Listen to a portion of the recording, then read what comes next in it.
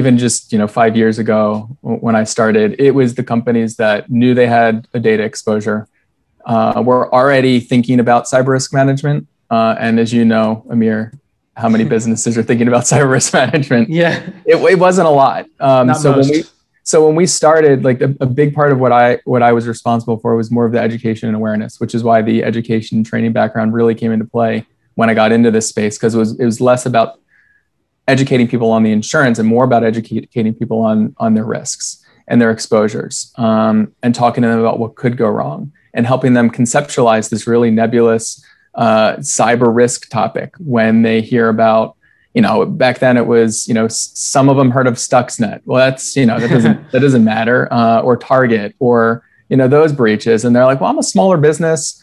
Doesn't really matter for me. So it it took a lot of time to educate um, puts put information out there, help people um, connect with the risks.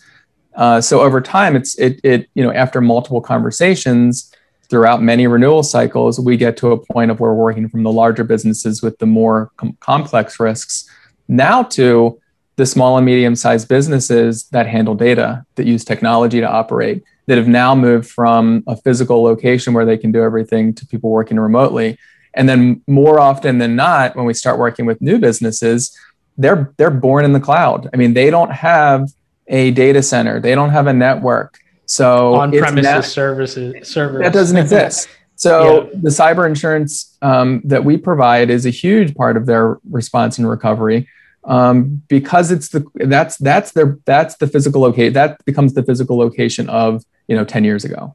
So it's gone from like I said, those kind of more complicated businesses to uh, really businesses of all type, whether it's a, a physician or a contractor or a, a technology company, um, law firms. You think of it. I mean, that that's why cyber insurance is so interesting because it's not.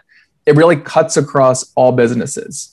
Um, it's not a specific sector that needs this. It's it's really any business you know, unless you're just, you know, still pen and paper and don't use technology and don't have data, which, you know, there's only a handful of those out there still. Anyway. Yeah, totally. And I mean, I feel like the thing that worries me the most that that's really unfortunate is if you look at like the data on like breaches across the country, whether it's like cyber crime related or like privacy data theft type stuff, you know, it's not it's not the really advanced technology companies that are being breached all day long. It's mm-hmm. really like you know the small businesses medium sized businesses. Often and I, I could be wrong but i think like the category of, of most breached companies like construction companies are number one and like manufacturing is like number two you know and then like you know technology companies are at the bottom of that list.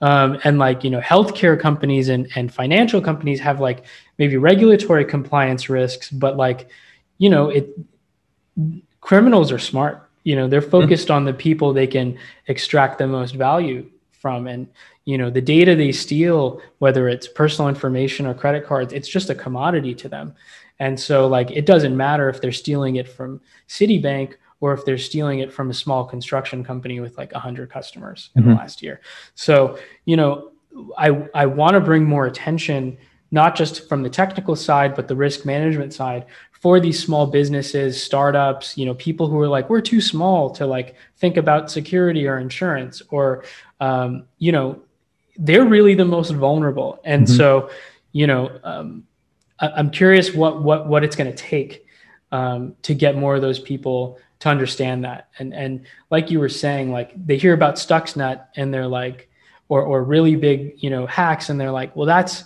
that's not going to happen to me. I, I, don't care about that. What they don't hear about is that all day long there's people sitting in, you know, uh, you know, farm type environments, just like generating spam and fake emails mm-hmm. to like steal a couple of bucks here and there all day long. So, um, yeah, I, ho- I hope to see that change, and I think it's starting to happen.